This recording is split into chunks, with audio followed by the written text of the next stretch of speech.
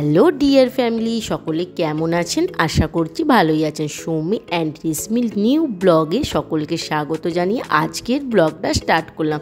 আজকে আবার আমি একটা নিউ রেসিপি নিয়ে চলে এলাম, লোটে মাছের কারি। তো চলুন বন্ধুরা, লোটে মাছের কারি রেসিপিটা দেখার জন্য প্রথম থেকে শেষ পর্যন্ত চ্যানেলটা স্কিপ না করে দেখতে থাকুন। এই দেখুন বন্ধুরা, আমি এখন লোটে মাছগুলো নিয়ে নিয়েছি গোটা গোটা। সকলে খেয়েছেন আধখানা করে পিস পিস লোটে মাছ, কিন্তু আজকে আমি গোটা গোটা লোটে মাছ কীভাবে রান্না করছি আর একটাও কিন্তু লোটে মাছ ভাঙবে না। আর কীভাবে রান্না করছি আপনারা অবশ্যই চ্যানেলটা দেখতে থাকুন। এখন আমি প্রথমে নুন আর হলুদ ভালো করে মাখিয়ে রেখে দিলাম। কিছুক্ষণ পরে আমি আবার ফিরে এলাম। ফিরে এসে আমি একটা ডিম নিয়ে নিয়েছি। ডিমটা ভালো করে ফাটিয়ে লোটে মাছগুলোর ওপর দিয়ে দিলাম। এর মধ্যে এবার দু চামচ কর্নফ্লাওয়ার দিয়ে দেব। আপনারা চাইলে ময়দাও ইউজ করতে পারেন, কিন্তু আমি দু চামচ কর্নফ্লাওয়ার দিয়ে দিলাম। কিন্তু এই ডিম আর কর্নফ্লাওয়ারটা দিয়ে প্রায় দশ থেকে পনেরো মিনিট মতো এইভাবে মাখতে থাকতে হবে। কেননা মাখলে না খুব সুন্দর একটা মাখাটা হবে। আর এই যে ডেলা ডেলা ভাবটা কিন্তু একদম থাকলে হবে না। ভালো করে মাখিয়ে নিতে হবে অনেকক্ষণ ধরে। তো অনেকক্ষণ ধরে এটা মাখানোর পর দেখুন কি সুন্দর মাখানোটা হয়ে গেছে বন্ধুরা। এবার ম্যারিনেট করার মতো হয়ে গেছে। এবার আমি ভালো করে এটা রেখে দেবো, রেখে দিয়ে এবার আমি মশলাটা বানিয়ে নেব। যেহেতু লোটে মাছের কারি বানাবো, তার জন্য আমি নিয়ে নিয়েছি ধনে জিরে, আদা, গোটা রসুন। তো এগুলো আমি নিয়ে নিয়েছি। এগুলো আমি এবার ভালো করে পিস্ট করে নেব। ততক্ষণ লোটে মাছটা পনেরো মিনিট মতো ম্যারিনেট হতে দিয়ে দিলাম। আর এখানে আমি মশলাটা রেডি করে নিলাম। তো দেখুন বন্ধুরা, আমার মশলাটা প্রায় রেডি হয়ে গেছে মিক্সি করে। আর এবার আমি কড়াইয়ের মধ্যে ননস্টিক বসিয়ে দিলাম। ননস্টিকের মধ্যে এবার তেল দিয়ে দেবো। কিন্তু গোটা গোটা লোটে মাছগুলো ভাজতে হবে। যাতে না ভেঙে যায়, তার জন্য আমাকে লোটে মাছগুলো খুব ছাঁকা তেলে ভাজতে হবে। অল্প তেলের মধ্যে ভাজলে কিন্তু লোটে মাছগুলো ভেঙে যেতে পারে। সেই হিসেবে আমি একটু বেশি করে তেল দিয়ে ছাঁকা তেলের মধ্যে এবার লোটে মাছগুলো ভেজে নেব। তার আগে আমাকে প্রথমে দেখতে হবে তেলটা হয়েছে কি না তো তেলটা যতক্ষণ না গরম হয়ে ধোঁয়া উঠবে ততক্ষণ কিন্তু লোটে মাছগুলো দেবো না। এবার দেখুন বন্ধুরা, তেলটা প্রায় গরম হয়েই গেছে, ধোঁয়া উঠছে, দেখতেই পাচ্ছেন। এবার আমি এক এক করে লোটে মাছগুলো দিয়ে দেব। আর এই দেখুন বন্ধুরা, ভালো করে মশলা মানে ম্যারিনেটটা গায়ে লোটে মাছের গায়ে লাগিয়ে ভালো করে দিয়ে দিতে হবে যাতে ভালো করে ভাজা হয়ে যায়।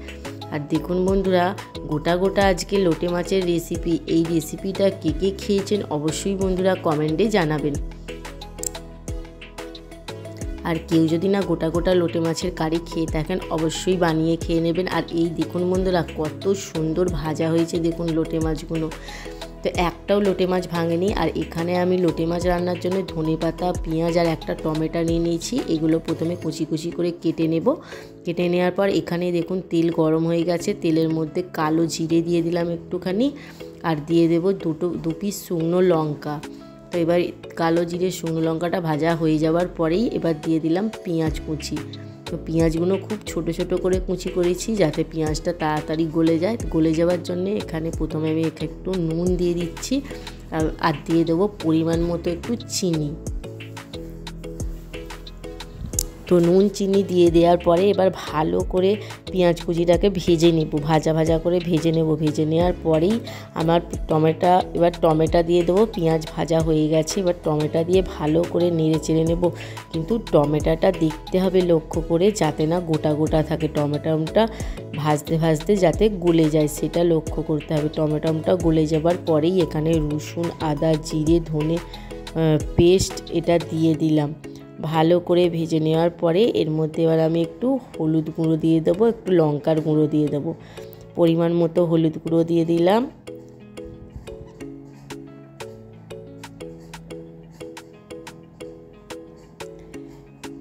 এবার আমি পরিমাণ মতো লঙ্কার গুঁড়ো দিয়ে দেবো। আপনারা চাইলে আরও যদি ঝাল খেতে চান, যেমন ঝাল খাবেন, সেইভাবেই লঙ্কার গুঁড়োটা ইউজ করবেন।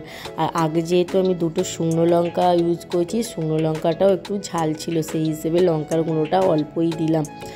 আর এখানে এবার আমি একটু ধনে পাতার কুচি দিয়ে দিচ্ছি, কেননা ধনে পাতার কুচিটা আমি প্রথমেই দিয়ে দিলাম ভালো করে যাতে কারিটা টেস্টটা ভালো হয় সেই হিসেবে।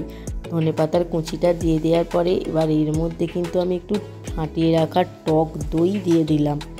টক দই দিলে, টক দই দিলে এবার ভালো করে কারিটা আরও সুন্দর খেতে লাগবে। টক টক ঝাল ঝাল খুব সুন্দর খেতে লাগবে। আপনারা কি কোনো দিন বন্ধুরা এরকম টক দই দিয়ে লোটে মাছের কারি করে খেয়েছেন? যদি না খেয়ে থাকেন, আমার এই রেসিপিটা ফলো করে আপনারা অবশ্যই বানিয়ে খেয়ে দেখুন। খুব টেস্টি লাগবে আর খুব সুন্দর করে লাগবে। পরিমাণ মতো জল দিয়ে দিলাম। জল দেওয়ার পরে এবার মশলাটা বেশ কিছুক্ষণ ফুটিয়ে নিয়েছি। ফুটিয়ে নেওয়ার পরে ওপর থেকে পেঁয়াজ কুচি দিয়ে দিচ্ছি। পেঁয়াজ পাতা কুচি দিলে না লোটে মাছ হোক যে কোনো মাছের ঝালের মধ্যে যদি পেঁয়াজ পাতার কুচি দেওয়া হয় না খুব সুন্দর টেস্টি হয় বন্ধুরা। আর এই দেখুন বন্ধুরা, আমি এবার লোটে মাছগুলো এক এক করে দিয়ে দিচ্ছি।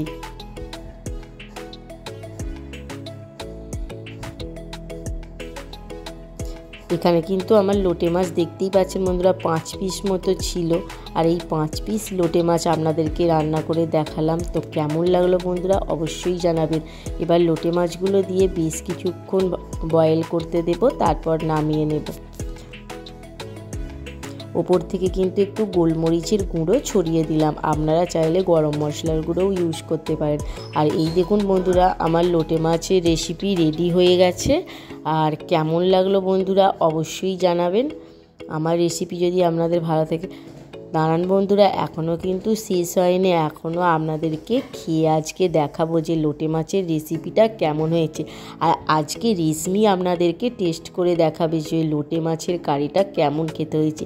ও কিন্তু আমাদের থেকে না টেস্টটা বেশি জানে বন্ধুরা, সেই হিসেবে রেশমিকে দিয়েই আজকে প্রথমে টেস্ট করাবো। এখন ওকে স্যালাড দিয়ে দিচ্ছি, পেঁয়াজ কুচি ক্যাপসিকাম আর একটু শসা দিয়ে দিলাম। এবার আজকে করেছিলাম বেগুন ভাজা, গরম গরম বেগুন ভাজা আর লোটে মাছের কারি। তো বন্ধুরা, আজকের রেসিপিটা কেমন লাগল অবশ্যই জানাবেন। আর এই দেখুন বন্ধুরা, এবার আমি রেশমিকে দেব। আর একটাও লোটে মাছ কিন্তু ভাঙেনি বন্ধুরা, দেখতেই পাচ্ছেন আপনারা, গোটা গোটা আছে, খুব সুন্দর পকোড়ার মতো হয়েছে ঠিক। আর খুব সুন্দর খেতেও হবে অবশ্যই। এবার রেশমি আপনাদেরকে খেয়ে বলবে যে আজকে লোটে মাছের কারিটা কেমন ঠিক খেতে হয়েছে। তো চলুন মধুরা আপনারা দেখতে থাকুন।